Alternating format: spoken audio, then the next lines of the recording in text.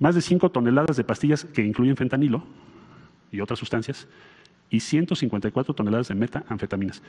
Si no estuviéramos trabajando juntos, esas toneladas, que pueden envenenar a miles de personas, habrían llegado a Estados Unidos. 94 toneladas de cocaína, aquí incluyendo todos los operativos que se hacen en el mar. O sea, en pocas palabras, México está decomisando más cocaína que Estados Unidos. Hoy.